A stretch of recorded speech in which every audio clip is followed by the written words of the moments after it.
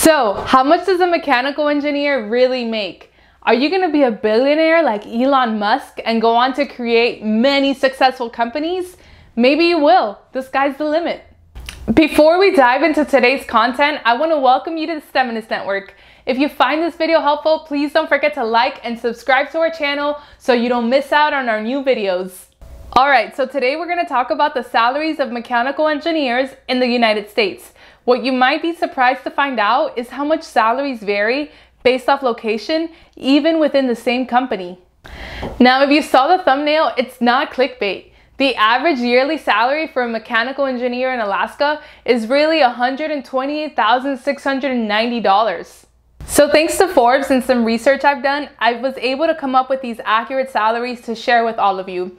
If you want to read the article after this video for some light reading, I'll link it in the description below. While gathering information on mechanical engineering salaries, I found some pretty surprising data.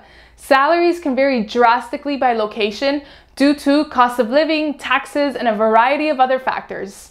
For example, the average yearly salary for a mechanical engineer in California is $107,370 a year.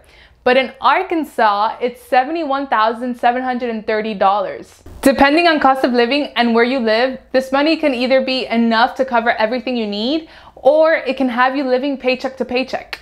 The average national salary for a mechanical engineer in the United States is $92,800, which comes in at almost double the average national salary of all other occupations that comes in at $51,960.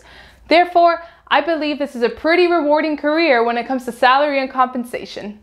Here are the top 10 highest paid states for mechanical engineers.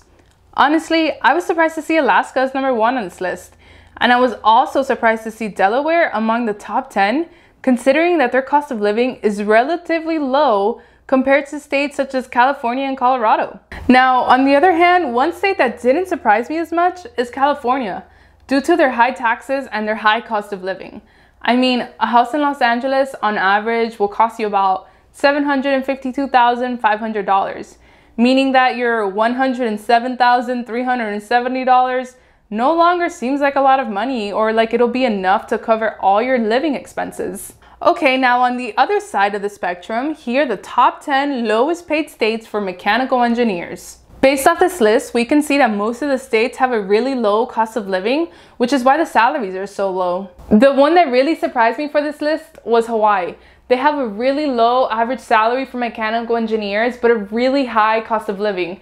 I mean, a gallon of milk in Oahu can cost you like $8.99, and that same gallon of milk in Florida can cost you $3.99. Now, if you're curious to see how each state compares to each other in regards to mechanical engineering salaries, here is a list in alphabetical order with their salaries. So to be honest with you all, I would highly consider comparing average salary to the state's cost of living before packing up and moving. So a question for you. If you had to pick somewhere to move to based off the mechanical engineering salary, which state would it be? Drop it in the comments below. I hope this information was helpful and that it will serve as a guide for you if you're considering making a big move. If you found the content in this video valuable, please don't forget to like and subscribe to the STEMinist Network for more STEM related content. Thank you so much for watching. See you next time.